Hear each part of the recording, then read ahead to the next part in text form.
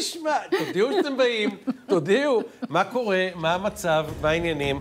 תודה שבאתם, אנחנו הפטריוטים, מתשע עד עשר, זה לא מובן מאליו בעינינו, ותראו מי התקבצו באו במיוחד בשבילכם, איתמר פליישמן! מה קורה? מה העניינים? מצוין. כן? יכול להיות רע. מעולה, יפה, יש לנו סדר יום עמוס היום, תהיה מוכן. ארי גלר! וחידוש, חידוש, יש לנו היום שלושה אנשי צוות באולפן, ולכן בפינת השמאלני המוכה והמוכה נמצאת איתנו הישר במצפה רמון, האישה האחת והיחידה, דינה דיאנה מכונה דינו! פלאש, לא בסקייפ. מה קורה? טוב, ישתבח לפחות הבורא. נשמע אותך כמו שצריך, נראה אותך כמו כן, שצריך. אפשר לריב. היום? אפשר לריב? מכות. יאללה, מכות. מעולה. אוקיי, מוכנים? יאללה, קדימה. עוד לא, עוד לא להתחיל, תגידו לי מתי להתחיל, אני אגיד מתי להתחיל. בסדר? עשר, תשע, שמונה, למשוך, ינון תמשוך, איתמר, כן. לקראת? ההמראה, כן. כן, מה קורה? כמו מגדל פיקוח, שלא חכה, יש מטוס אחר שהולך להמריא. זהו, אין טייסים. מה קורה? מה, מה, מצוין, מה? חודש אייר, עוד מעט ל"ג בעומר, לחגוג, עצמאות, לאומיות. יפה, כן. יפה. ארי? אה, גם אותו דבר, סטנדרטי, תחילת. שבוע, כן, מתניעים. לאט. מעולה, דינה? אני מבסוטית, כן. הכל טוב. המדינה פורחת והשמש זורחת. הייתי בשוק מחנה יהודה עכשיו, ועצוב, עצוב. מה עצוב? פתחו את השוק. אבל זה לא פתחו את השוק. זה כאילו, הייתה לי הרגשה שזה לא הולך כאילו, שזה לא יהיה כזה קל כמו שאנחנו חושבים. אני, אני מקווה שאני אתבדה. אבל שזה לא בכזה אתם ראיתם את קלות הקליפ יחזור. שהסוחרים עשו לנתניהו? ראיתי. שאוהבים אותו? בטח. מה הרגשת שם בקליפ הזה? אני אוהב את האנשים האלה. כן. אתה מבין? יש לי איזה אהבה שהיא בלי תנאי לאנשים האלה. אבל היה להם קשה לדעתי קצת הקליפ הזה. אני ראיתי שהם אומרים אני- את זה... יש משהו בזה. נכון? הם אומרים את זה חצי אה, כוח, כאילו ביבי גלעד אוהבים אותך. שליט כזה קצת, כן. קצת גלעד שליט. אני, אני חייב להגיד לך, דווקא אצל אנשי ימין, השמאל כאילו מתקשה לתפוס אותם באופן, אה, באופן שבו הם חושבים. אבל מצד אחד הם יכולים לבקר את נתניהו באופן הכי קשה כשהם ממורמרים, ומצד שני אין להם בעיה גם יום אחרי להגיד תודה. כך שכאילו, אני לא רואה סתירה כזאת גדולה בין המעברים הקיצוניים. לא, לא, היו שם חבר'ה שלקחו את העסק קשה, ובאמת היה להם קשה. על מה? בצדק, על מה? בצדק. לא, אני רק אומר שזה רואה- הגיוני תקשיבו, שיום אחד מבקרים אני- ויום אחד... אני לא הבנתי את העיקרון הזה, כי אנשים פתחו, הסופרים היו פתוחים, וזה מפחיד להיכנס לסופר. לעומת זה להסתובב בשוק. שוק בבאר שבע לא נסגר, אבל אתה הולך כזה בשקט, זה כמו ללכת לקנות סמים להבדיל, כן? בשקט, החנות כזה פתוחה, מה את רוצה, גברת? כאילו עגבניות, רגע, תעמדי בחוץ, אני... כבר כאילו, לא קונים זה היה. הסיטואציה. לא, היה פה קצת לא, אווירת. צנע, כמו שהיה היה ב... מלחיץ. כן, מה ב- שנקרא שוק ה-חמישים. שחור כן, לגמרי. כן, ספרים, כן. מגיעים הביתה. הכל פשוט שלא תגלה לאף ברור, אחד, ברור. כאילו. כן, אני... אה, היה דבר כזה? ברור, מה זאת אומרת? אני ברור. הזמנתי את הספר, סיפר אותי בחצר. לא נעים לי להגיד. כאילו. זה הכל אלגוריה, זה לא דבר אמיתי מה שאני מספר. כן, כן. כאילו, כנסת ישראל ו- והקדוש ברוך אתה הוא. לא דוגמה אישית, ינון. תתבייש לך. תתבייש לך. טוב, מה עוד? מה עם אה, המזרחים, אשכנזים כן, וכל העסק על אתה- אתה המשמר? פנתר שחור שמעתי. אני פנתר שחור. כן, סיפרו לי עליך שאתה פנתר שחור, אה? בסדר, נדבר על זה הוכרזת. גם, נדבר על זה גם. בעזרת השם, כי יש אירוע אה, מעניין בציונות הדתית, שעכשיו יש עליו עניינים. טוב, רבותיי, אנחנו יכולים להתחיל. קדימה, בבקשה. הראייה הזאת בסמכותו של שי ניצן, ושוכבת לה, והפרקליטה שחוקרת מאוד מתקוממת על זה שראיית הזהב אה, אה, נגנזת, מאוד מאוד מתקוממת על זה, זאת אומרת שבלעדיה בעצם אין משמעות לכל הכתב אישום הזה שהיא אה, ממליצה נגד מנדלבליט, וזה מונח שם כמו פצצה מתקתקת בתוך כספת. אה, גם אני, שהתמחיתי בפרשה המנג'סת הזאת, אה, לא הבנתי כל השנים, יחד עם אנשים מאוד רציניים ומאוד טובים, איך הכל נסגר, איך זה יכול להיות. יש, אה, יש ראיות מטורפות ומישהו הכל סוגר. איך זה קורה? אה, יאללה. אה, יש יאללה. את הברזל. טוב, יש אה, היא כהרגלה באה, עושה סערה, הופכת שולחנות, כנגד כולם, כנגד כל הסיכויים. הפעם זה לא נגד נתניהו, זה קצת יותר קשה עם הברנז'ה, זה לא כזה פשוט. איתמר, תתחיל. תראה, צריך להגיד פה דבר אחד על פרשת תרפ"ז באופן כללי. כן, יש איזה משפט, אני לא זוכר מי אמר אותו, אז תסלח לי, שהטריק הכי גדול של השטן זה לגרום לנו להאמין שהוא לא קיים. כל הקטע הזה של סוללה של יחצנים ומקורבים ועיתונאים ואנשים שחפצים בעיקרו של אשכנזי לימדו אותנו שהפרשה הזאת משעממת, זה, ה... זה באמת החטא הקדמון. כי אני אסביר לה, אני בטוח שרוב האנשים לא... לא, אבל היא. פרשה קשה, אין כן, מה לעשות. אז בואו אני אגיד לה, לכן קשה. אני הולך. לפשט את זה. למה היא פרשה כל כך מטורפת? רק על מה שאיילה חסון אמרה, נעזוב את כל היתר. בגלל שמה שאיילה חסון טוענת, היא אומרת דבר כזה, תראה, הגיעה לכאן חבורה של הקצינים הכי בכירים בצה"ל, רמטכ"ל, העוזר שלו, הדובר שלו, הפרקליט הצבאי הראשי שלו, והם ביחד עם המשטרה, לפי איילה חסון, בעצם יש עדויות שהם קשרו קשר לטייח פרשה חמורה. זאת אומרת, הפרקליטים, לסגור תיק. שהם תמיד עם סכין בין השיניים, וניגוד עניינים, ומרמה, והפרת אמונים, ושוחד, שיתפו פעולה עם הרמטכ"ל. כדי בפר- לקבור כדי פרשה. לקבור פרשה שלא תביך אותו. עכשיו, זה אנשים גם שליוו אותו הלאה. זאת אומרת, זה אנשים שהיום אה, מנדלבליט נלחם כדי שהם ימונו לתפקידים הכי בכירים בפרקליטות, וכולי וכולי וכולי. ולכן זה, בעולם מתוקן, כל העיתונאים ביחד היו פשוט מפרסמים את ההקלטה הזאת, כי החוק הזה, זה בושה וחרפה, הרי הפרקליטות לא נשמעת לחוק הזה, ראינו את זה בפרשות כמו אפי נווה, וחדירות לפלאפונים של היועצים של ראש הממשלה, זה לא באמת מעניין אותם. ובכלל יש סעיף החוק. בחוק שמאפשר נכון, את שמתיר זה. את זה, אבל העיתונות פה, וזה, אני חושב, בסוף תמיד תגיע לשורה התחתונה הזאת. אין עיתונות באמת בישראל, או לפחות אין עיתונות חופשית בישראל. יש לכל הפחות עיתונות שהיא עיתונות פוליטית, ולכל היותר עיתונות שהיא עיתונות שמכורה לאנשים שנותנים לה את המידע. ולכן אני לא חושב שיקרה עם הדבר הזה כלום, אבל לאלה שצופים בנו, אתה לא חושב שיקרה? לא יקרה. אני, אני, אני רוצה לקרוא לפרשת, לפרשה הזאת פרשת אשכנזי. אחד הדברים הכי נוראים שקרו כאן, זה שקוראים לה פרשת הרפז, ואף אחד לא יודע מי זה הרפז הזה, וזה כאילו כן, הרפז. מתנדב, וזה כאילו זה חלק, ש"ג, זה ש"ג ממה אשכרה שדיברת, ש"ג. כן, ש"ג פרשת. הרפז, כאילו אף אחד לא מבין על מה אתה מדבר. תכל'ס זה פרשת אשכנזי מנדלבליט, זה השם האמיתי של הפרשה הזאת. ווואלה, היא מרתקת, היא וואחד מעניינת, והאישה הזאת, איילה חסון, היא וואחד גברת. חבל על הזמן, עם אה, מה שנקרא ביצי ברזל, לא רואה ממטר. בעיניי עומדת ביי פאר בראש העיתונאיות הישראליות, אה, משלנו, מה שנקרא דיאלנה לגמרי, ו- ו- ומחזיקה ראש על הדבר הזה כבר עשר שנים. כששמעתי אותה השאלה אם היום, בסוף ישחררו אצל את ההקלטה שרון- או לא. לא ישחררו כלום, אל תהיה תמים, יחרטטו אותנו, כמו שהם מחרטטים אותנו כבר, אני לא יודעת כמה זמן, בתוך מערכת שהיא אחת המערכות המושחתות, צריך לפנות ליועץ המשפטי. המושחתות במדינת או ישראל. לפרקליט המדינה. אגיד לך, אבל מה הבעיה איתכם? וזו בעיה קשה. מה הבעיה איתה? אני אגיד לכם... למה אנחנו אשמים? שנייה, אני אגיד לכם במה אתם אשמים, אבל כן, בסיפור הזה. כן. כי המערכת הזאת היא באמת מושחתת, וכבר המון שנים אתם בשלטון, ואתם יודעים את זה.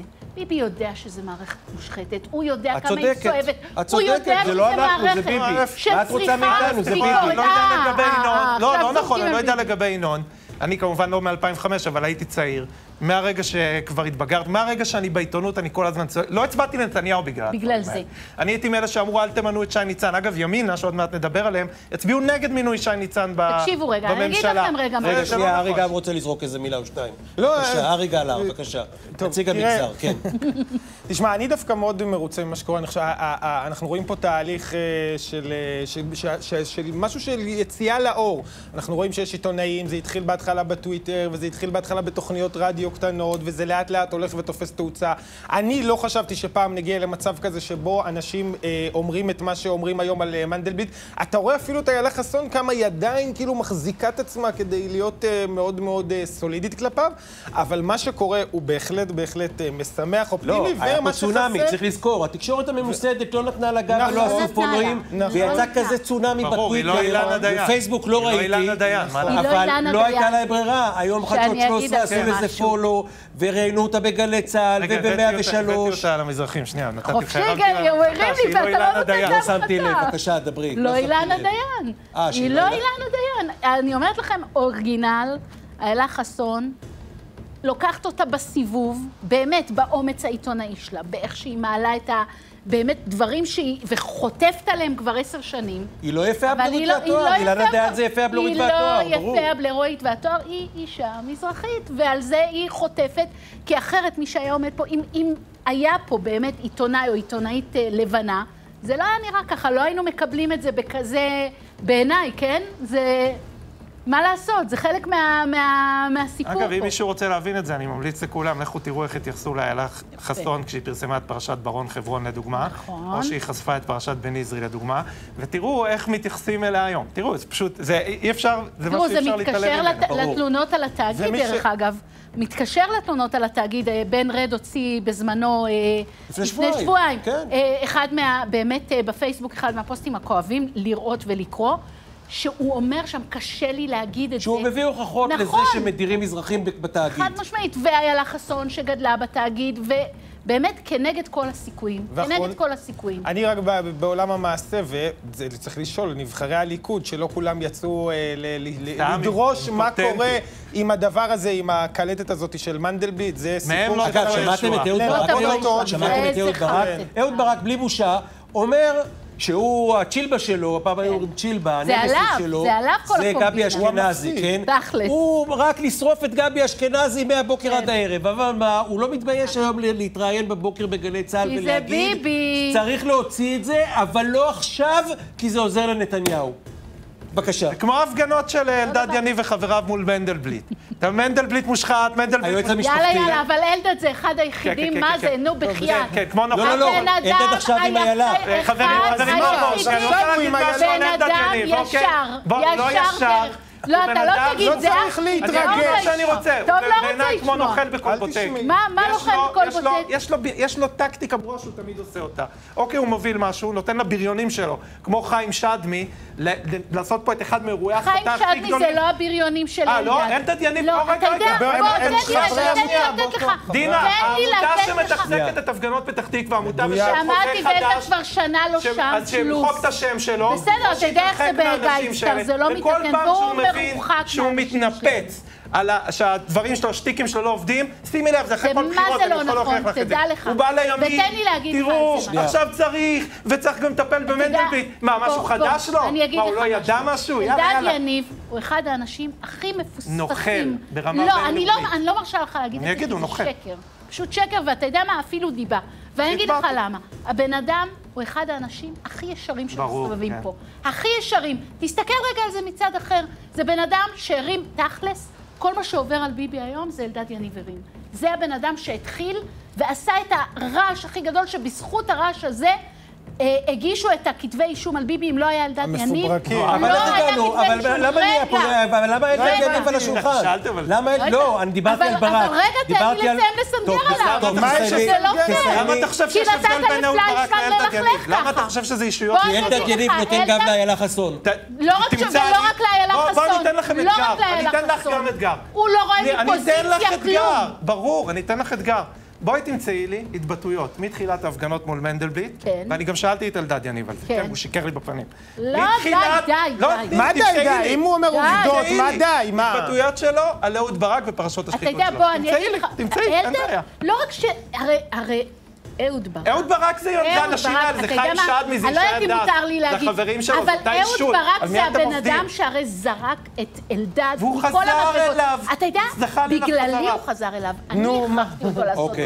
זה. לא. אני אמרתי את זה. אוקיי, הוא אה, לא נכון, רבותיי, זה פשוט תודה לא רבה נכון. לכם. אה, לא נכון. אנחנו יוצאים להפסקת פרסומות קצרה, יש לנו פוליטיקה, ימינה לא בטוח בפנים, יש קורונה, יש אה, גברים מוכים, יש עוד דברים, תהיו איתנו בקשר, לשתות קפה ולחזור. תודה, ביי.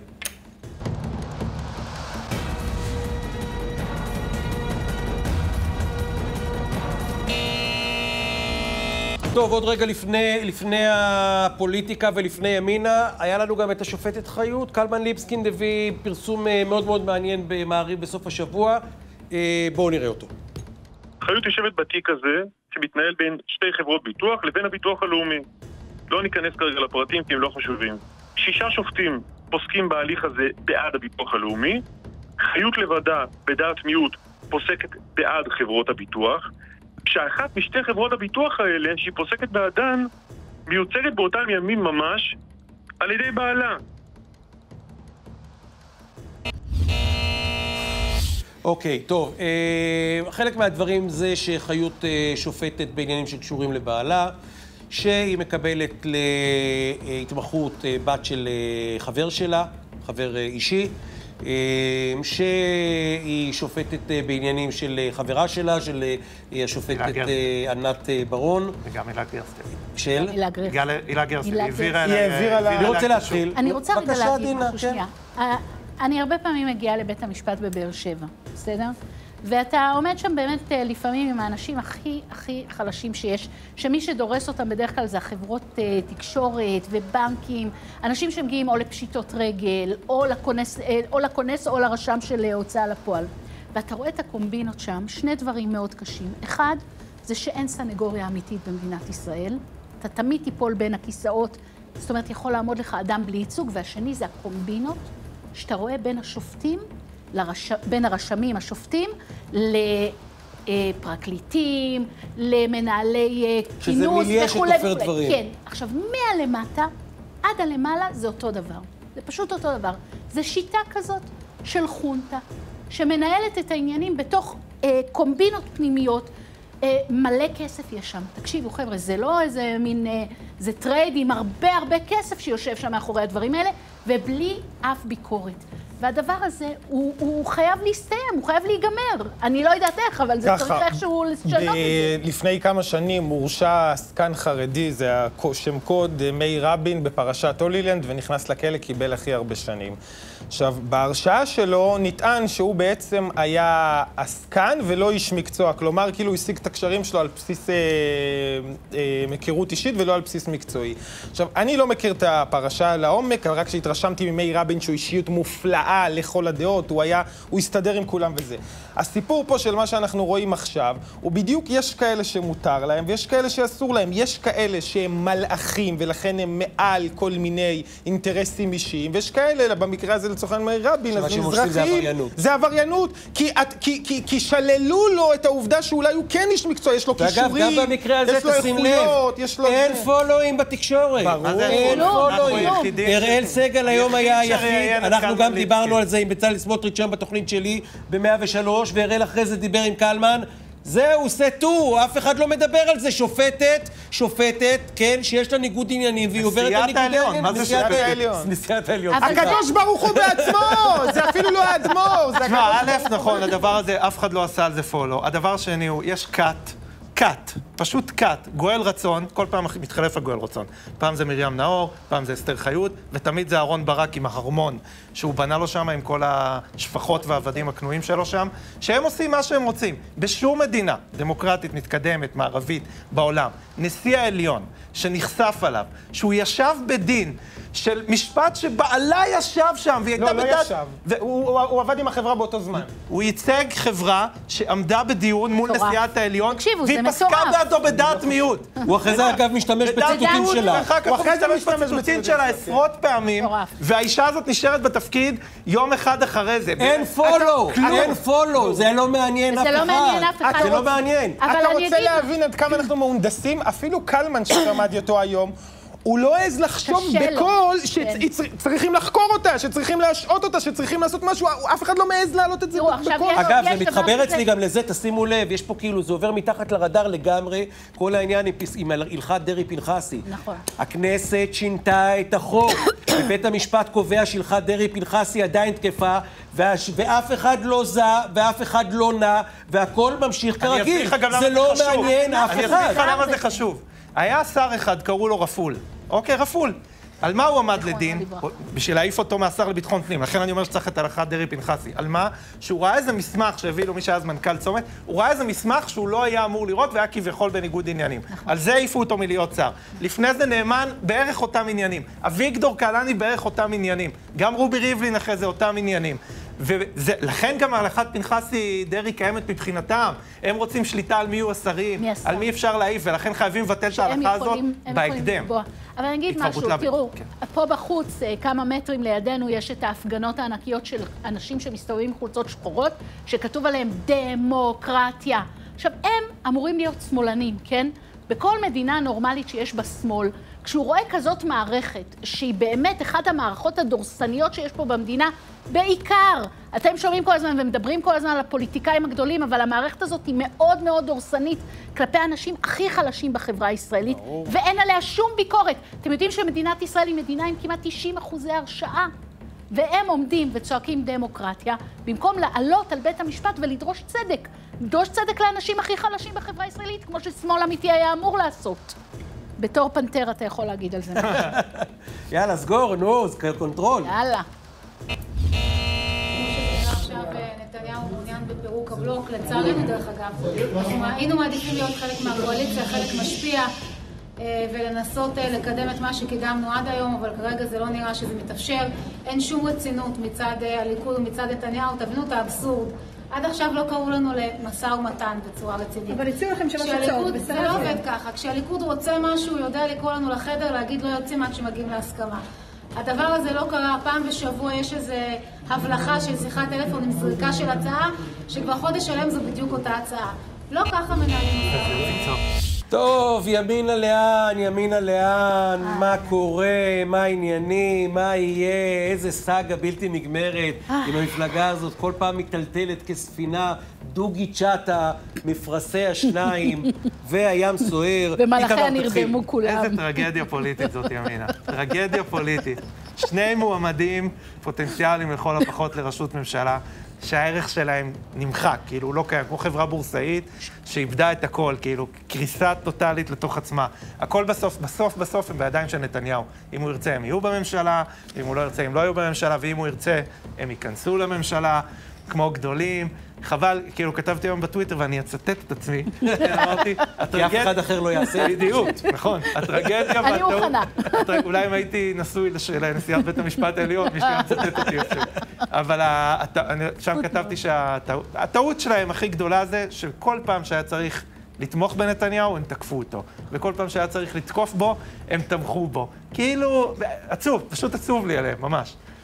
כן, תראה, האמת שזה מתחבר לעוד משהו, שגם זה, גם, גם בעניין הזה אפשר לצטט את, איתמר, זה יאללה. בסוף מנהיגי הבית היהודי לא עשו את ההחלטה אה, איפה, איפה, איפה הלב שלהם נמצא. האם לצורך העניין בערוץ 7 או אצל עמוס שוקן בהארץ? מי תרבותית נוגע בהם, איפה הם רוצים לקבל את המחמאות שלהם?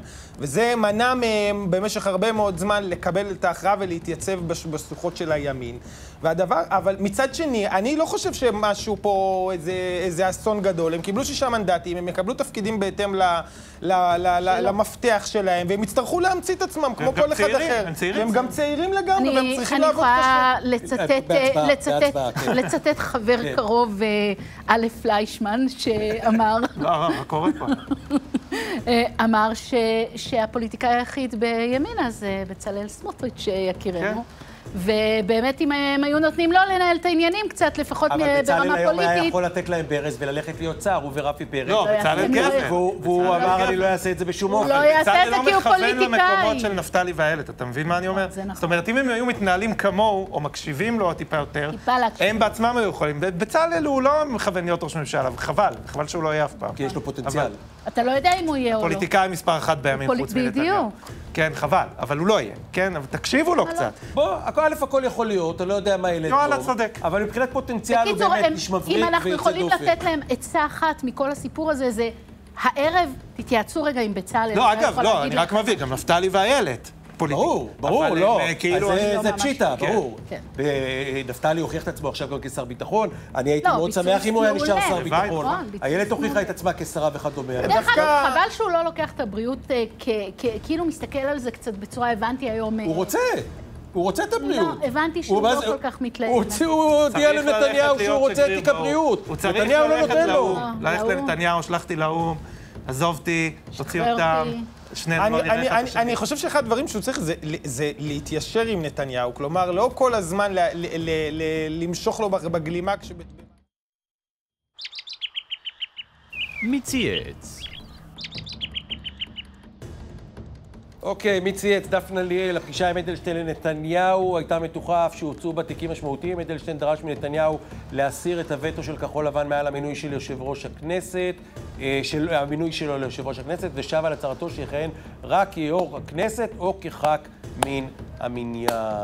איזה יופי, ומדוע זה יפה? נראה לי איך כי יולי אדלשטיין. היה אחד האנשים, אפרופו מה שדיברנו קודם על בנט, הוא היה אחד האנשים שלא התייצב לצד נתניהו. למה? שנייה, בסוף כן, אבל בהתחלה, והוא היה. ממלכתי, והיו לו מלא החלטות שהוא יכל לקבל, אבל הוא נשאר ממלכתי. בוא, בדרישות של בלפור הוא לא עמד, כמו שאומרים. לא בדרישות של בלפור, ממש לא בדרישות. הנעליים לא היו מצוחצחות. לא, לא בדרישות של... למה בדרישות? אה, אה, מבחינתי, כשאני הסתכלתי על זה, הוא היה שחקן שלא לא התאמץ לטובת הקבוצה שלו ברגעים שהוא בסוף שהוא היה נדרש. הוא- על- על- בסוף... בסוף על חרבו הוא נפל. נפל, נפל. אין בעיה, זה, היופי, שכשאתה לא מתגייס לטובת המחנה ואתה משחק אותה איזה ממלכתי, בסוף אתה משלם מחיר, ואז כשאתה משלם את המחיר, אין איתך אנשים... למה לא מציעים לו להיות נשיא? זה מה שאני לא. מבין. לא, באמת. למה. נתניהו לא אומר, לא עזוב תהיה אחד? כי השמאל לא ילך איתו. לא ילך, הנשיא הבא... ויולי אדלשטיין, אה, יולי לא ילך איתו למה שהוא לא? עשה. הנשיא זה- הבא- זה הטרגדיה. יש ממשלה של הבא- 72 אנשים. לא ייתנו, כחול לבן פוסלים אותו. אני אגלה לך כן, דינה. סוד. הנשיא הבא הוא יצחק הרצוג. מאוד פשוט. למה את חושבת? כן. כי זה בדיוק? מהסיבה למה לא הפשוטה שאמרת. פרץ? למה לא ביבי? מוכנה. למה לא ביבי? פרץ, למה לא. מרים פרץ? אני בעד מרים אני לא פרץ, חושב. שזה טוב. תמיד למה בעד. לא? מעולה. וואלה, אפילו, אפילו העניין הזה שהיא תצטרך להטיל על מישהו את הרכבת הממשלה ויבואו כאילו, אפילו זה לדעתי מוריד מהכבוד שלה. אני, לא, אני פשוט לא מהכבוד שלה. מתייחס, אני לא מתייחס למוסד הזה כאל משהו שהוא כזה נעלה. כי הרסו אני אותו, אבל היא חושב- יכולה לשקם אותו אולי, אולי. היא דווקא, אולי. כן. תראה, בוז'י הרצוג הוא נסיך, נכון, הוא בן נסיך. של אה, נשיא, הוא נכד של רב ראשי, נכון. הוא אשכנזי, הוא גור אליטות. הוא צפון תל אביב, הוא. מפלגת העבודה. ומרים פרץ היא מרוקאית, נכון. היא מגבעת זאב, היא אימא. של שני, אה, של לוחמים שנפלו, היא, לא, אני חושב שאתה יודע, היא אישה, כל, אתה שואל אותי? הגיע הזמן, אם צריך אפליה. מתקנת, זה המקום, תעשו. בבקשה. אני- לא יכול להיות. שלנשים כל היום עושים אפליה מתקנת, ולמזרחים לא עושים אפליה מתקנת. אך אני חושב שבלי קשר לכלום, מרים פרץ הרבה יותר מתאימה מבוז'י הרצוג לתפקיד, כמו שאוחנה מתאים. לביטחון פנים יותר. ממירי רגב. כאילו, וואו. היא תהיה מסחטת רגש, דמעות, לא במקום ציני, ממקום אמיתי? כי זה כל ה- זה סך האישיות שלה. והיא תחבר באמת ושכחתי את להגיד, הדבר הזה. הוא צודק, היא אישיות מדהימה. כן, מדהימה. אני שמעתי את הנאום שלה בפרס ישראל, אמרתי, וואו, מה זה. הדבר הזה? וזה- זה- מדהימה. וזה מלאך. וזה רק. סמל, התפקיד, אז היא בואו, תוכל הרמנו למנף- קמפיין. קמפיין. אותי. יאללה, מרים פרץ קמפיין. יאללה. יאללה. בפרסומות, אחרי הפרסומות נמצא עוד מועמד לנשיאות, תהיו איתנו, ביי.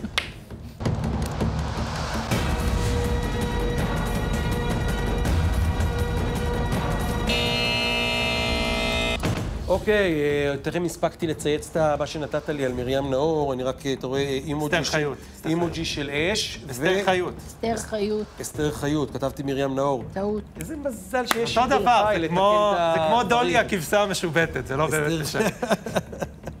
אוקיי, חברו רבותיי, בואו אפשר להמשיך ברשותכם, זה בסדר? קדימה. אנחנו משתדלים, ל- הם, כל אחד יודע כאילו מתי צריך ללכת ל- לשטוף ידיים. עשיתי איתם בתחילת היום, הסברנו להם איך שוטפים ידיים. טוב, אוקיי, חבר'ה, אה, כשיש לימודים, תודיעו ערב קודם, כשהגננת תודיע, נחזיר את הילדים לגן. כמה אפשר לדבר על הנושא הזה? אני לא מבין, מה רוצים? שם. מה, מה קורה? למה. לא חזרו לגן עדיין? נכון שזה משעמם? משעמם טילים. די. ויש לך ילדים במוסדות כן, חינוך. ומשעמם טילים. כמה יכולים לחפור על זה? ובלאגן במערכת, לא בבלאגן, לא, איתמר לא מסכים איתנו, דבר. שמה, אני מאוד מסכים איתכם. אני די, כאילו- משעמם, אני לא? פשוט לא, אני בעצמי לא מבין כאילו מה קורה כרגע. אני רק יכול... שולחים, מישהו לא מבין מה. קורה, אף אחד לא יודע, אני רק יכול לעודד את האנשים שלדעתי זה עניין של כמה ימים ו... ונוכל, אם לא יהיה איזה קטסטרופה בימים הקרובים, חס וחלילה, אז נ- הכל יסתדר, נוכל לחזור כמו שצריך, והקטע הזה עם הרוטציה זה קצת... אה, שואה יהיה בעיה. עדיף כבר לא להחזיר את הילדים מהרוטציה הזה. שלושה ימים, שלושה ימים. שלושה ימים, שלושה ימים, עדיף שלושה לא ימים, שלושה ימים. וגם יש... בבית, אה, זה פוגע בילדים, זה פוגע ברצף של הגן, זה פוגע ביחס בין הגננות אבל להורים. יש מלא אמהות שפשוט רוצות מציאות- להתאוורר בשלושה ימים האלה. לא, אז אני אומר, קחו ארבעה. ימים בממשלה, תיצרו איזה מתווה יותר נורמלי, תראו שאנחנו במצב טוב בקורונה. יש מצב. שהקורונה הזאת פשוט נעלמה? הלוואי, בעזרת כאילו שהיא פשוט, כמו הסארס. אני, אני, אני לא יודע? אני התחושה שלי שדווקא כאילו דברים קורים, אמנם לאט, אבל נוצר פה איזשהו טרנד, אפרופו פרשת הרפז, שהפרשה לא מעניינת, אז שיש בלאגן כל הזמן ואי סדר. ברור שדברים לא לוקחים, ב... זה, זה קצת אה, מבולגן וקצת לוקח זמן להיערך, אבל א' עד ג' נפתח, התחילו ללכת ילדים. מן הסתם יבואו בשבוע, השבוע ושבוע הבא עוד גילאים. כל הזמן המערכת יושבת על זה שגם המעונות יום וכל הדברים האחרים ייפתחו. נראה לי בסך הכל סביר. אני- אני- לא. אני רוצה להגיד, אבל כאילו רצף כמה. מילים אם את טובות רוצה על... להגיד, אז תגידי כמה מילים טובות על על... יפה בן דוד. ושהיא, ה- תכף איתמר יוצא לו עשן הרעה. מהאוזניים. לא, אני לא לא, מבין בזה כי- מספיק. כי באמת אה, זה נהיה טרנד, זה כאילו, האייטם הבא, את יודעת מה? זה האייטם הבא. בואו נעבור לאייטם הבא. אין אייטם הבא, דברי. אין אייטם. אני אומרת, אה, זה נהיה טרנד לכסח אותה, ראיתי שם את שתי המגישות הנחמדות אה, עוטות עליה ביחד עם הפרופסור, אכלו אותה בשידור חי. את הייתה מרוקאית, אה, לא. נורא, אה, כבודה במקומה מונח, פנתר שחור. לא, יש גם... את- באה להגיד, יפה בן דוד, היא אני- מזרחית, לא- היא אני לא אישה, לא, היא חושבת- אה, היא נציגת של ועד עובדים, ובאו המגישות שמרוויחות כל אחת שתי מיליון דולר ב- אני בשבוע, שם, אה, והתנפלו עליה, אז אני רק מציין שאחת מהן הייתה מרוקאית, זה וואי, הכול. אתה נהיית ממש יותר טוב ממני בדבר הזה, כאילו, אכלו לי, שתו לי, כאילו, מה עובר עליך? לא, רק את יודעת, לא, אני אני רק ש- מעדכן. אני לא, לא חושבת משהו. שהטרנד של ההתנפלות על האישה הזאת, בתכלס מייצגת את המורים, נלחמת בשבילם, ואני רוצה להגיד מילה טובה גם למורים, כי הם היו אחלה בתקופה הזאת, הם לא היו כאלה גרועים. הכל סבבה. הם היו דינה, ממש בסדר. שלא תלך להתראיין. בדיוק. פשוט עושה שירות רע למורים. לא, באמת. למה? למה? כל בוא מישהו נפתח. למה? כי, תקשיבי, החינוך, במיוחד בסיטואציה הנוכחית, הבתי ספר והגנים, זה הדבר הכי רגיש, רגיש. לכמעט כל ההורים בישראל, אוקיי? נו. בסופו של דבר, אתה, לא שאני מחפש מישהו שיהיה לי עכשיו חנה בבלי וידבר יפה וזה, אתה בדיוק. גם מייצג את המורים, אוקיי? ואם יש גם בקרב המורים, יש איזו אמירה שכאילו אנחנו לא מרגישים שהיא מייצגת אותנו כמו שצריך, למה? תני למישהו אחר ללכת להתראיין. למה? אני- למורים, כי לא אני לא יודע. ומה את מאשימה את המורים? אני לא מה אני יודע. מאשימה אותך? לא, כי כשאתה יושב שם, אתה אתה באמת מבין אתה צריך... אתה מבין את הקטע. לא, היא לא אני לא הפגינה לא התחשבות. היא לא היא לא הפגינה? התחשבות לא? בציבור הרחב. היא- זלזלה בעובדה שיש ציבור שלם שחושב, לא, שנייה לא. רגע, שגם המורים יכולים לעבוד קצת יותר ממה שהם רגילים, כי כולנו משהו במשבר, חריג. וכולנו מתמודדים, והיא לא התחשבה בזה בכלל, היא זרקה גם הל"ג קצוץ על מה כולם, נו נסגר עם מה? הל"ג בעומר הזה? הל"ג מה לא ברור, הזיה, דינה? אה, ל"ג זה שאנשים לא עושים. עבודה טובה לא אומר שהם יכולים לזרוק על כל העולם ולדבר איך ש... ל"ג בעומר זה. באמת הזיה. מה נסגר איתכם? כן, זה מה- באמת באמת הזה. מה נסגר אני לא? מבין, אבל כאילו, אין מדורות ויש חופש? ברור, כן. זה מדינת ישראל. אני, את. יודעת מה- מה מה הייתה יכולה להגיד? הציעו לי הזיה. עכשיו אייטם למחר בבוקר, שאיזה קצין? אה, יתדרך את הילדים, אבל אין מדורות. מה זה קצין יתדרך? קצין, בטח בכבאות? אש? או משהו, כבאות, יתדרך. אבל יש, אין אבל אסור לעשות מדורות, אז איזה. תדרוך יש? לא הבנתי. בואו נעבור הלאה בבקשה. המון קלטות, שאני כמעט שכחתי מקיומם. שהקליטו את הסיטואציה בבית, ושמעתי את כולם. אז אני בכיתי שלושה ימים רצוף. העסק הזה ייכחד. לא יכולה לעשות שום דבר יותר גרוע ממה שעשיתי, תביני. אבל תמיד יש יותר. מה? מה יותר גרוע? תמיד, תמיד. מה? נולדת חסרת כישרון, לא משנה. יש לי כישרון להרס. זה ידוע. מה זה הדבר הזה, תגידו לי? א', לא ראיתי, ראיתי, אני רק ניזון מהמקטעים כאלה שאני רואה פה, בטוויטר או כל מיני לא דברים כאלה. גם, לא. למה אנשים צריכים לחשוף את הדבר הזה בפני כל ה... למה... למה... לא, טוב, לא יודע, לא יודע, לא יודע. למה? אני אגיד... לא יודע, לא יודע, כי אם זה היה הפוך, אז בעצם נשים תוצאה כל הזמן. עושות את זה, נשים כל הזמן עושות את זה, וגברים אלימים זה... אתה צריך לשמוח על זה עם האג'נדה שלך, תוצאה לא? מצוינת. אתה צריך להגיד, וואלה, הנה גבר שטוען שהוא גבר מכה, ו... מוכה. והוא נחשף עכשיו, כן, רפליקה, אתה ישר אומר מכה, אבל הוא גבר מוכה. נחשף עכשיו באיזשהו אומץ לב, כן? אה, בצורה מאוד מאוד... בואנה, זה כאילו קשה להסתכל על זה, כן? ובכל זאת הוא עשה את המהלך המאוד אמיץ הזה, ובא ומספר משהו מאוד לא גברי ומאוד לא מקובל, והוא עושה שירות פה אולי להרבה גברים שנמצאים במצב שלו, עוד פעם. עושה שירות להרבה מאוד גברים, אבל הוא מרסק את הילדים מרסק- שלו. מרסק איך את שאת לא. הופכת את זה, הוא מרסק את לי הילדים. מאוד קשה לראות את זה. האופנה הזאתי, נכון. האופנה באמת, אחת המבחילות שיש בתקשורת הישראלית בעולם, זה לא רק בישראל, של כניסה ומתן פומביות לסכסוכים של גירושין, שבאופן ודאי, אין בכלל שאלה, זה לא נתון בספק, שהילדים, עזבי את השני הצדדים, לא אכפת לי בכלל מי צודק. אבל איתמר, זה קורה כל הזמן עם נשים. למה? כאילו, אבל עם נשים זה כל הזמן קורה. אני לעולם, לעולם, לעולם לא אגונן בשום סיטואציה, למעט בסיטואציה שיש אלימות ומעשים פליליים. אבל פה הייתה אלימות. שמעשים ופליליים. הייתה פה אלימות. הייתה פה אלימות. תשמע, לא, היא אומרת נכון, דינה. לטענתו. אני גם, אני איתך. אני אבל- לא חושב שהיה צריך לתת למיכל רנד את הבמה גם. וגם לא, אני, זה מה שאני אומר, אני לא יודע מי צודק. תראה, בישראל יש איזה מנהג מאוד מאוד מאוד מגונה, בכלל בעולם המערבי היום, אוקיי? גם בעניינים של המשפחה החדשה, זאת אומרת פונדקאות של ילדים וזוגות אה, גייז וכל מיני כאלה, גם בחברה החרדית, זה בכל מקום קיים, ששומעים רק את המבוגרים. כאילו הילדים הם איזה סטטיסט שיושב בבית, ועכשיו המבוגרים מנהלים מאבק, ובשם איזה מאבק שאני רוצה להראות מה אתה שאני רוצה גבר... שיעשו? שיכניסו מה- לפה גם את הילדים? אתה לא פוגע בילדים שלך, גם אם זה אומר, גם אם זה אומר שהצד שלך לא יישמע, כן.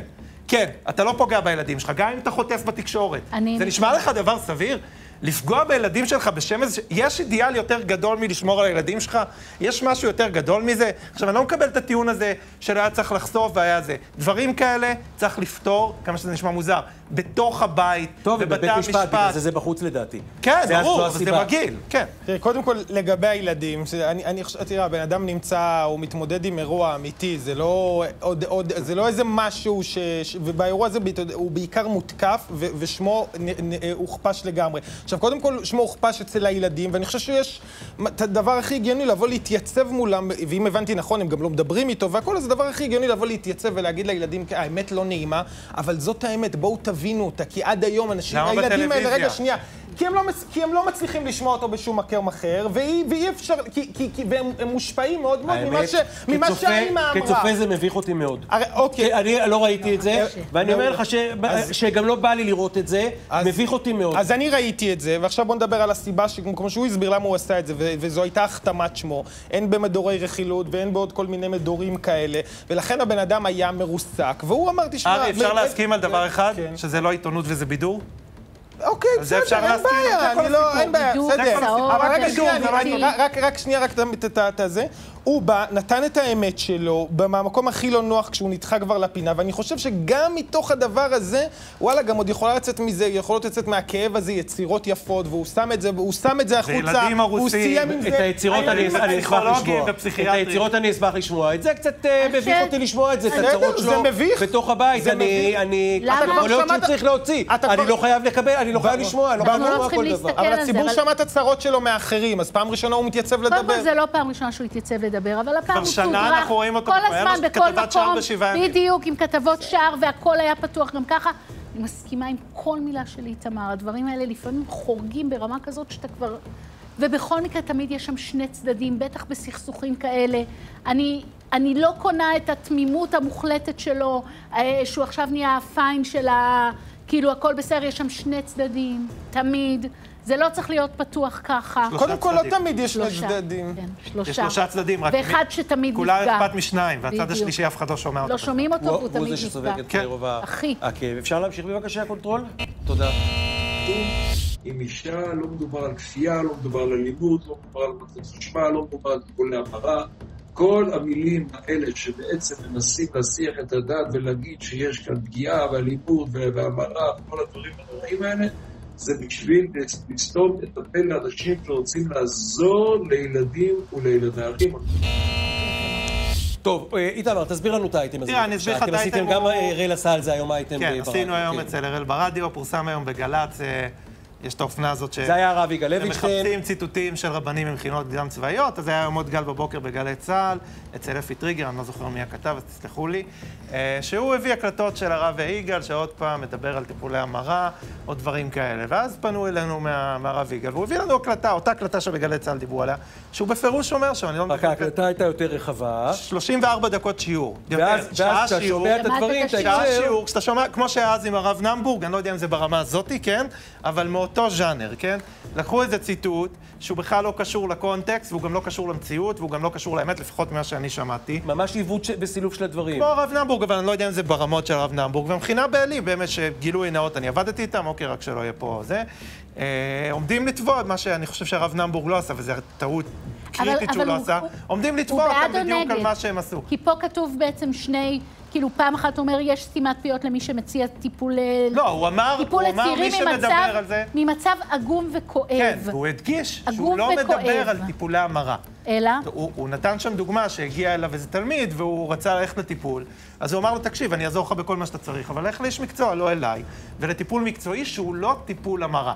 זה כל מה שנאמר אתה. מסכים איתי שיש קצת אה, משהו חולה בכל הסיטואציה אה, הזאת זה- בחר- בציבור החרד"לי, זה- כן? ב- אני לא מתווכח איתך על זה. רגע, ושכל לא, אבל יש הקמפיין... משהו לא, חולה לא, במרדף. בדיוק. גם במרדף. הציבור בדיוק, החרד"לי. שם יש החולים משהו. חולה. אני לא יודעת. כי זה- זה לא אבל זה גם זה לא לא סיבה מתאים להכפיש לאיזשהו בן שום אדם דבר. ולהוציא את הק- את ההקלטות שלו בהקשרים. אני לא, לא זורקים יודעת. עליך שקר, ואז אומרים לך, אבל אתה הדברים מסכים האלה איתי ש- מבפנים, דינה, גם ואת אני, אני האמירות, ממשפחה אנחנו שנינו, חרד"לית בסופו של אנחנו דבר. שנינו חיים את הציבור הזה, נו. ואנחנו יודעים מה הציבור הזה חושב. אוקיי, אבל- באמת שנינו. אבל זה לא מה שהוא לא חושב, היה פה שקר לא על לא הראש שלו ככה. היום. הוא לא חושב היה פה ככה, שקר. דינה, הסיפור הוא שהיה פה לא שקר על הראש שלו שנייה, היום. שנייה, שנייה, בואו נשים את הדברים על השולחן. בבקשה, חושב בחייאת. מה? חושב מה? הוא לא חושב חושב מה? הציבור החרד"לי בישראל, אם אתה נער בישיבה תיכונית חרד"לית בישראל, כן. ואתה נער הומוסקסואל, אוקיי. אכלת אותה. לא, ויפנו אבל אותך, חושב מה? את יפנו אמרת, הוא לא חושב מה? את לא אומרת. את מתחמקת. דינה, על אני מה? חושב- טיפולי המרה? כן. אוקיי, כן. טיפולי המרה. לא. בואו לא, נשים רגע. על השולחן שנייה טיפולי המרה. יש אנשים... לא, אבל איתמר, סליחה שנייה. אולי לא אני מתווכח כופר בעיקר. ואני אומר דברים שאסור להגיד. נו. יש נוער... או צעירים, או אנשים אל תגיד את שרוצים, אני אגיד את זה, אל זו מדינה זה. חופשית ואני מותר לי להגיד מה שאני אבל רוצה. בוא, אז בוא נפתח יש את זה. אנשים שרוצים ללכת לטיפול, שיכול להיות שיש זכותם, מה זאת משהו, אומרת? שהוא יכול, שהוא יודע, בוא יכול נגיד משהו להפוך אותו, זה. או, או לה- להשאיר אותו סטרייט. מותר דינה, לבן אדם את יודעת כזה מה הוא- ללכת... תוכל לענות? שלי, סליחה, אני דינה. שואל שאלה. כן. מותר לבן אדם כזה ללכת לרב או לפסיכולוג או למישהו לשיחות איתו אם הוא רוצה להיות סטרייט? זה מותר או אסור? תן לי בבקשה רגע, לא במותר ואסור לשאול אותך שאלה. והיה והבן שלך, אוהב אותו. אוהב אותו? מת עליו, כפרה לא, עליו, רגע, מת עליו. ואתה כן, יודע הלאה. שהטיפול הזה הוא טיפול מזיק מאוד, זה ידוע, זה לא משהו לו שהוא לא איזה. סוד.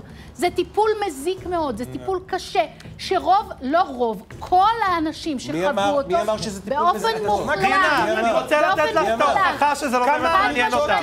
אני אתן לך את ההוכחה שהטיפול המרה הם לא סיפור, לא בהכרח אכפת להם מהטיפול המרה, איך נכון, אני יודע? נכון. לפני שבועיים או שלושה, נכון. התראיין חבר הכנסת מנסור עבאס או. בישיבה המשותפת. בואי, ומה הוא נכון, אמר? זה דרך אגב שהוא רוצה דבר. לחייב בחקיקה נכון. קטינים ללכת נכון, לטיפולי המרה. נכון. וואו, מה עם הרב זה יגאל לוינשטיין? למה לא שמענו? לא, אבל... למה לא דיברו על זה? אני אדבר כי לא על זה אכפת אותו להם, דבר. כי לא אכפת להם. מזה באמת. אתה זה רק צודק, מרדף אבל אתה נגד יודע מה? רבנים. אתה מתחמק עכשיו מה... אני לא מתחמק, לא- אני לא מתחמק, את תוקפת את- כי לא מדברים על הטיפולי המרה, סליחה, כי אף אחד לא מדבר על הטיפולי המרה באמת. מה זה? זה כן משפיע, זה לא משפיע, זה רע באמת, זה תמיד רע, זה לפעמים. רע. אף אחד לא שואל? וזה לא העניין. מה העניין? אני רוצה העניין הוא לשאול להכפיש רבנים. דינה, אני רוצה לשאול שאלה פשוטה. אדם שנולד דתי, כן. והוא יש לו, הוא, לא סגור על עצמו, והוא אומר לעצמו, אפילו מהמקום הכי פרקטי, אני לא רוצה להפוך את החיים, את החיים שלי למורכבים הרבה יותר, מבחינת האפשרויות, מבחינת עוד מלא דברים, ואני רוצה לנסות אופציה. מה זה, כאילו, את פוסלת את זה באופן כן, גורף, אה, ואת גם כן. אומרת שכל מי מה? שניסה... על על סמך סמך מה? על סמך על ידע סמך? מקצועי, איזה סמך את מולטת נכון? באינפורמציה של תקשורת שמאל. לא, נכון. אני מישהו מכירה את ממש זה מה? מהצד של סמך מה? זאת אומרת? רבנים. זאת מדינה חופשית. אני לא אתן עכשיו את. השמות. אני לא יודע, אבל הרבה, על סמך תן לי מה את רגע יודעת? להגיד, אז הרבה תגידי. רבנים שלאורך השנים היו שולחים לטיפולי המרה, בשנים האחרונות, נמנעים לא מלעשות טיעון. את אה, זה. קודם כל, כי יש פה אלימות נגדם. זה לא זה דבר לא שני. אני לא אומר רבנים שיכול להיות שזה מסוכן. אני דיון נכון. אמיתי ורציני בעניין לא שמעתי. אין דבר כזה. אוקיי? לא שמעתי דיון אבל רציני. זה השאלה. הרבנים הרב- שעברו, ואלה שלא עברו, אז אתם אולי יודעים, נקשיב אתם לוקחים להם. את זה, הרי מה הבעיה פה? אנחנו צריכים לצאת לפרסומות, אני נורא מתנצל שאני צריך לחתוך את האירוע הזה בעודו. נעשה לך טיפולי המרה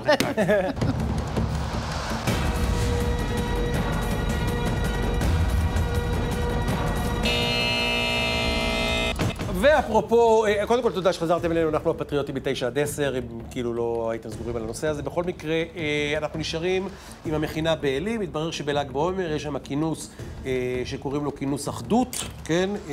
אני אגיד לכם בדיוק איך קוראים לו, קוראים לו רב המאחד על המפריד, וזה בעצם לנסות לאחד רבנים גם לייטים וגם חרד"לים, ולעשות איזשהו דיון על אחדות ישראל, אהבת ישראל, קונצנזוס ישראל וחיבור ישראל, רק מה, אין שם לא נשים ולא מזרחים. דינה, תתחילי.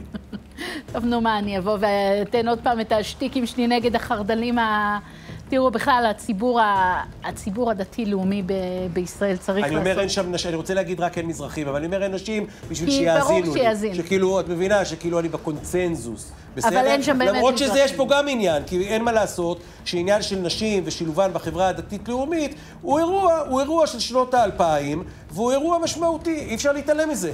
תקני אותי אם אני טועה. אי אפשר להתעלם מזה בגלל שהנשים לא מוכנות לוותר על זה, ולא לא נשים מהציבור הדתי-לאומי, וגם לא נשים חרדיות שלא מוכנות בשנים האחרונות אה, לוותר על הנוכחות שלהם במרחב הציבורי. אבל אה, עוד פעם אתה רואה חבורה של גברים, אשכנזים, לבנים, מתכנסים ביחד, מגרדים אחד לשני בגב ואומרים אחד לשני כמה נחמד. ואחדות ישראל. ואחדות ישראל וכולי וכולי, וזה נראה ככה.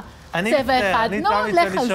מי שצריך לעשות כנס של אחדות, אם אתה הגעת למקום שצריך לעשות כנס של אחדות, תעזוב. אכלת אותו, עזוב, שחרר, שחרר. שחרר, זה לא... עזוב אותי, שחרר עזוב אותי. לגמרי. זה לא, זה, אז זה. כאילו, אני אוהב את המכינה בעלי, ואני אוהב את האנשים, ואני חושב שהרב אלי זה איך- אחת איך מהדמויות המופת, ינון? מה שאמרת, אבל נכון, כאילו, איך עדיף קוראים שלא יהיה לריקוד כנס. הזה שלהם? משפט ה- הריקוד הזה שלהם, שאתה אוהב להגיד, מה נו. זה? איך קוראים לריקוד הזה? בעלי? לא, נו, אה, צ'רקסי לא, לא, לא מה? איזה... אה, נו, הריקוד הזה הנחמד של הדוסים המזרוחניקים. מה מה יפית? היה פיס. כן. משפט הפתיחה של אה, ניסן סלומיאנסקי בכנסים כאלה זה שנשאל מה מצבו, ואז אה, ברמה, ברמה האישית ברוך השם, וברמה הלאומית ירחם השם. נושאים את אה, על מסע... הגב כן. שלנו. לא, כן. תראו, ה- האירוע הזה של מזרחים, הוא קצת אירוע כמו המיטו. כלומר, אה, אני חושב שאני לא אתפלא אם יהיה איזה האשטג עכשיו של מזרחים בקרוב, וכי אני כל הזמן, בגלל שאני מתעסק בסיפור הזה, אני כל הזמן מקבל גם אבל תן לי בטוויטר- סנגוריה ללי והמזרחים, אוקיי? לא, לא, אל תגיד סנגוריה תן. סנגוריה, חשוב סנגוריה. למה אני לא? רוצה לא נכון. אני אתן. דיסקליימר, אוקיי? הדיסקליימר הוא שאני לא יודע מה קורה היום, ואני חושב שזה השתנה לכיוון שאת חושבת. אבל המכינה בעלי, הרבה מאוד מהפתיחה של המכינה בעלי, היה בגלל שנוצרה האליטה הזאת של הישיבות הסדר, ושל הישיבות הגבוהות של הציונות הדתית, ולאנשים, נגיד, מה- מהפריפריה, מקומות כן. כאלה, לא היה מקום ללכת אליו. כדי שהם יוכלו להתכונן אז לצבא. שמו אותם בעלי, דחפו אותם, שלא זה- יהיו ב... עלי זה חוד בסדר, אז עשו את זה חוד הח- חנית, אבל באיזשהו הפכו מקום... אותם לחוד החנית, אז אני לא יודע מה קורה אבל זה היום. בגלל שהחברה לא, זה אבל מקבלת שרציתי אותם. להגיד, איתמר, מה שרציתי להגיד, שבסוף האליטה האשכנזית, היא הייתה, באמת הייתה רתומה לאידיאלים, אבל היא בכלל, כמו שנגיד, אה, לא שמו לב לנשים, כן, והתייחסו אליהם בצורה לא ראויה במשך הרבה מאוד שנים, של הפתיחות המינית וכל הדבר הזה שיצר איזה התנהגויות לא ראויות, כך אותו דבר אה, כלפי מזרחים. באליטות, ינון, אני יודע, שנינו. היינו באותו בית בלילה שאלי אוחנה הגיע לבית לא, לא היהודי. דיברתי דווקא על זה, אבל אתה צודק. היית. בבית אני מסכים הזה? איתך, זה מה. שאני אומר. זה נכון לחיל האוויר, לאקדמיה, זאת אומרת, זה בכלל לא היה, זה לא היה במודעות, והיום...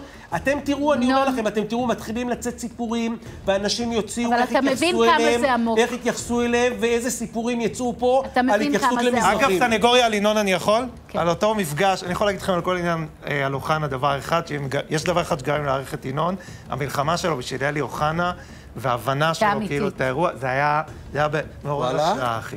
אני לא זכרתי את זה, אבל יישר כן. כוח. אבל אגב...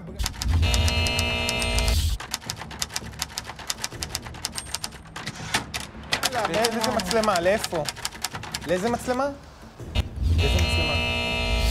אוקיי. תראה, אנחנו אה, יהודים, כן, אנחנו מאוד מאמינים בלתת אה, הכרת הטוב. אתמול היה 75 שנה יום הניצחון על הנאצים. צריך להגיד תודה למדינות ש... שניסו לבוא להציל אותנו כמה שאפשר, גם אם לא הפציצו וכולי.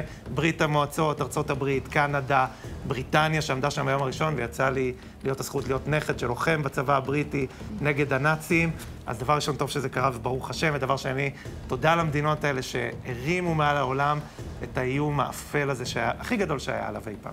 טוב, אה, אז אה, בעצם אני אדבר טיפה בקצרה על באמת הימים המאוד מאוד מורכבים וקשים האלה. אה, אנחנו נמצאים עם מיליון ומשהו מובטלים אה, שחיים עכשיו בקרבנו, אנשים בלי עבודה. אה, העתיד הקרוב לא נראה הכי טוב. אני מאוד מאוד מקווה שביום רביעי תקום ממשלה רק כדי לראות איזשהו אופק חיובי לדבר הזה שקורה כאן, שהוא אחד האסונות הכלכליים הגדולים שחווינו ב-50-60 שנה האחרונות. מקווים לראות ממשלה. טוב, אז מי שהולך פה, דיברו קודם על הנושא המזרחי, ומי שבכל זאת קצת זוקף את גב הציבור הספרדי בציונות הדתית הוא הרב שמואל אליהו, כוכב עולה, מנהיג, בשנים האחרונות עומד מאחורי שורה של קבלות החלטות משמעותיות, כאלה במאבק נגד רבנים פדופילים ועוד מספר החלטות. הוא יחד עם איגוד רבני קהילות זוקפים את קומתם, מביאים את התפיסה ההלכתית, התרבותית, הרוחנית, והדבר הזה מוביל מהפכה אמנם לאט, אבל כל, דו, כל מהפכה קורית לאט.